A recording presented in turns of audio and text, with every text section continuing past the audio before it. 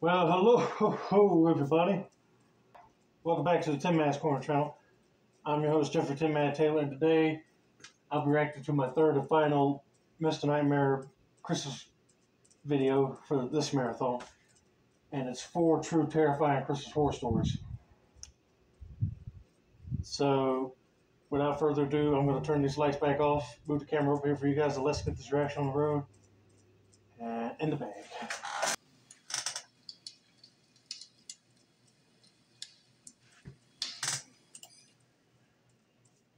Oh, don't you worry, Mr. Nightmare. I'm sitting back and relaxing.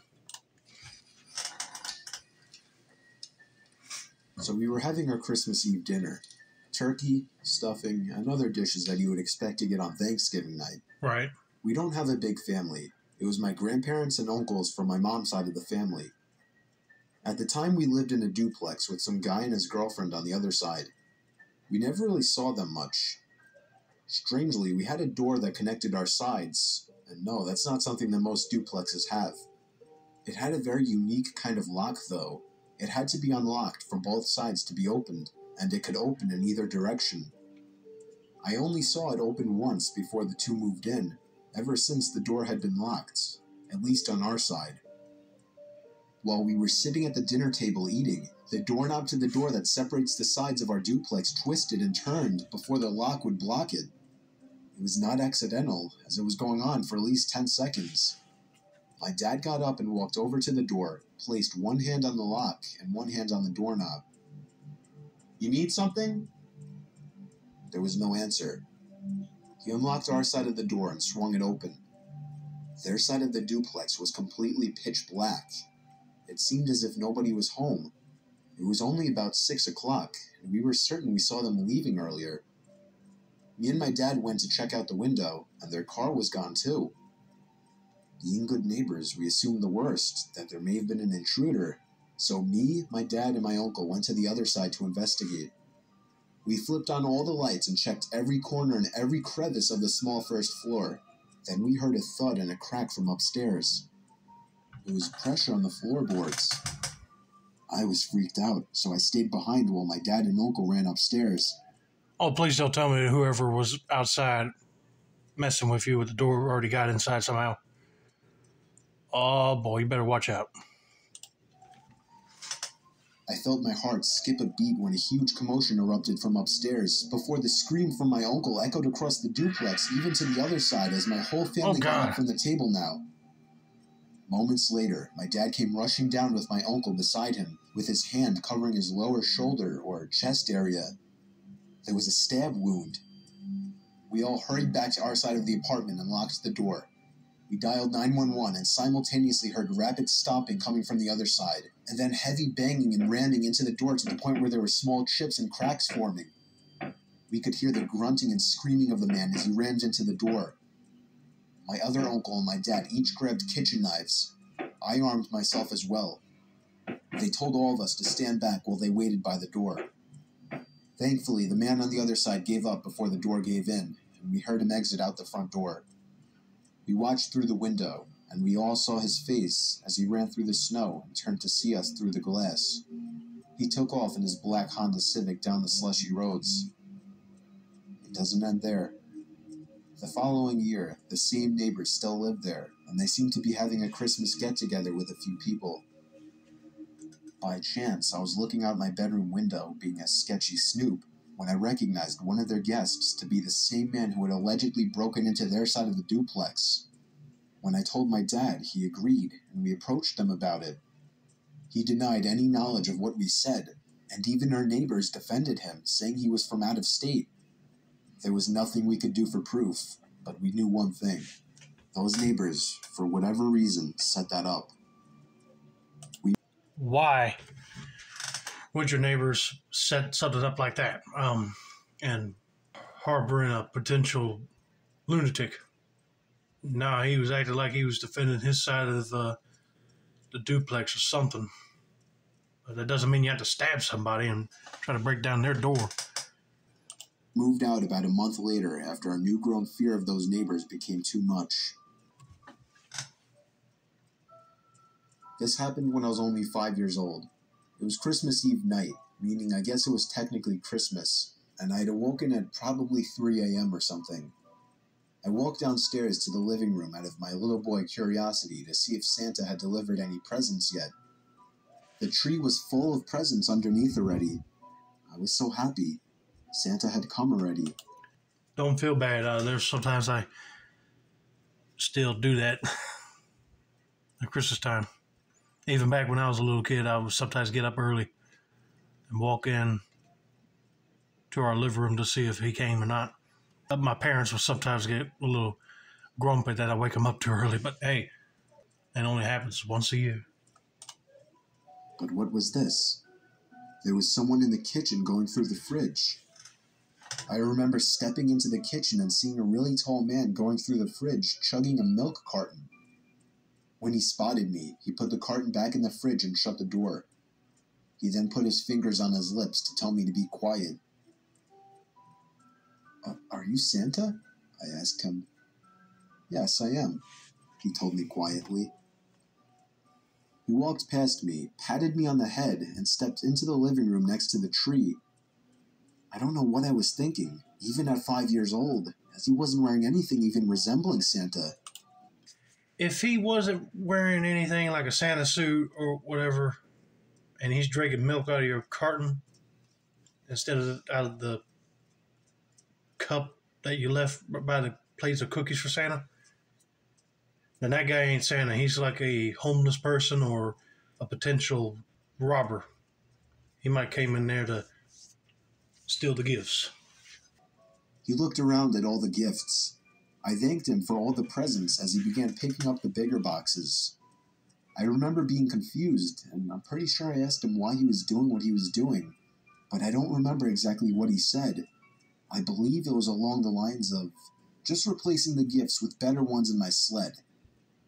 I believed whatever he said, though. He walks out the back door with three boxes, came back momentarily to grab more, then left once again. He came back in and patted me on the back and told me not to tell my parents that I saw him. Oh, bull crap. I'll be telling my parents that I saw you after you left. But when he went outside the first time, you should have ran to your parents' room, tell them what was going on, and then they uh, probably won't believe you at first. But then if you hear them say that he's taking presents away, then that would be a sign of concern. And go jump into action, stop that guy. I smiled and agreed, and he took off with the boxes. I waited for him to come back with the replacement gifts, but he never did. I eventually went up to tell my parents despite what he said. When my parents realized I wasn't joking, they sat up in shock and fear and ran past me downstairs. When they saw half the presents were gone and the back door was left wide open, my mom screamed like a deranged person. I remember my parents were practically scolding me, demanding for me to describe the person who entered our house. Of course, being five years old, the description I gave was anything but useful. All I probably told them was that he was tall. It's been almost 15 years now, though, and at this point for me, being that I was only five years old, it's nothing but a story to tell rather than a bad memory at all. Dude, I know you're five years old, but come on you should have told him more than just like him being tall. Be like, is he old, young? That'd be a Christmas I would not want to remember. like you said, bad memory. Did you ever used to have a fear of those guys who would dress up as Santa Claus in the mall or at Christmas parties? Up until the age of about eight, I certainly did. I think I was six or seven years old when me and my mom were walking through the mall with all the Christmas festivities and decorations up to be honest with you, back when I was a little kid, I did not have no fear of these guys at all. Like I would think it's the real Santa, but when I got older, I know some of them might be just, uh, you know, special helpers.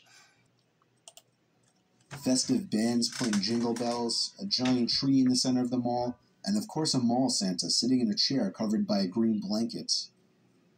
There was a small line of kids and parents waiting to sit on the Santa's lap, maybe two or three kids. My mom insisted I sat on his lap.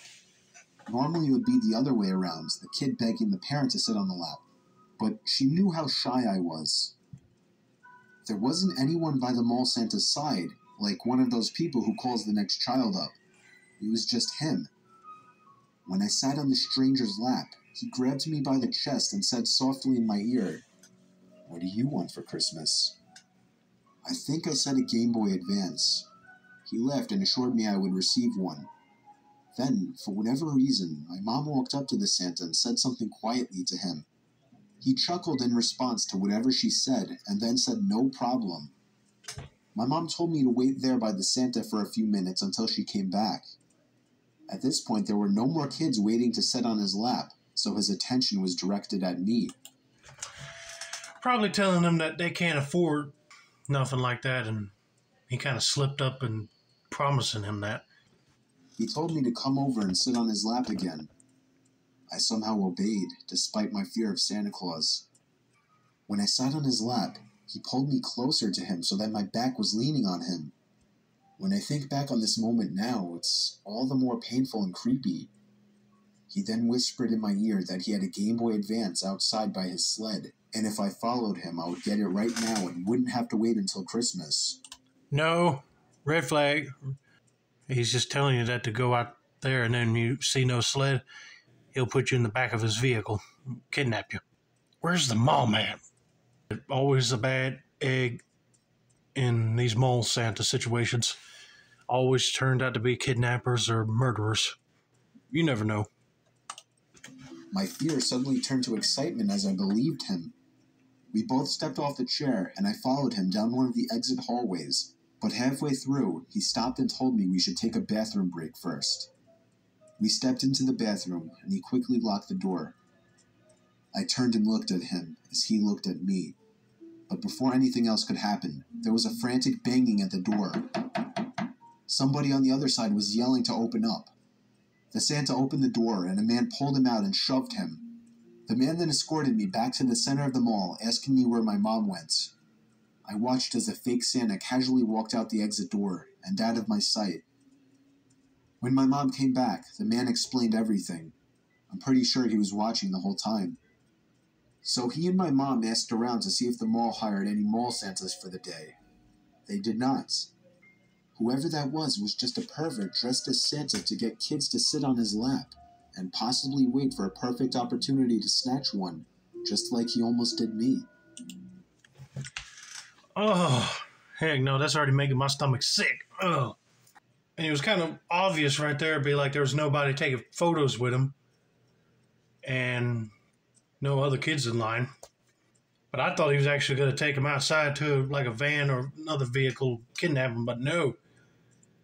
If he's taking him to the bathroom, oh God, I don't even want to imagine. Oh, that that's just sickening. And then he got out of there quick. Somebody needs to pull up the camera footage and see where he went to. Hopefully, they caught that no good pedo dressed as Santa. Those type of guys disrespect the red suit, okay, and cause a bad image of Santa. This story took place about five years ago on Christmas Eve night. It was around one in the morning, and I had just finished placing presents under the tree. I went upstairs to brush up and everything, then came back downstairs to the kitchen to get a glass of water before bed. My son Jake, who was four at the time, was standing by the stairs leading to the basement. I asked him what he was doing up so late. He pointed down the stairs and said, Santa. I picked him up and carried him back to his room. I took a glass of water and went to bed. I woke up around an hour later to my son running down the hall outside my room. I sighed and got out of bed. As I was going down the stairs, I saw Jake by the tree looking at presents. Then he ran past me into the basement stairs again. He pointed down the stairs again. This time I looked down the stairwell, and my heart dropped as I saw a black figure sitting on the bottom step. I almost screamed, but I somehow held it in. I pulled my son quietly away from the basement door and closer to the front door of the house. I moved my hand away from my son's mouth to reach for the lock in the doorknob. I tried to pull the door open as quietly as possible, but it was pointless. The squeaky hinges let out the usual ear piercing screeches, and I cringed in my mouth and eyes as I did. Suddenly, there were heavy stomps coming from up the basement stairs. I screamed and pushed open the storm door and practically threw Jake outside. That would be like, okay, he already hear you closing the door. Just close the darn door and get out of there. Call the cops. I shut both doors behind us and we ran to the neighbor's house. I rang the doorbell as fast as possible, probably 30 times before they answered. After that, we went inside and stayed there and waited for the police. Whoever that person was was gone, though, as determined after the police conducted a thorough investigation of the house. I ended up lying to Jake, telling him that actually was Santa Claus. But a few years later, he remembered the incident and became a little more wise to what actually happened. Hey, you did a good job uh, grabbing your son out of there while you can. But yeah, your little boy was too young to know that that was actually a potential call it stalker, robber, or even worse, murderer. But anyway, that's going to be it for now. Don't forget to like, subscribe, turn on those post notifications for more Mr. Nightmare content like this. This has been another successful installment of the Tin Man's Corner channel. I'm your host, Jeffrey Tin Man Taylor. And have a nice day, everybody.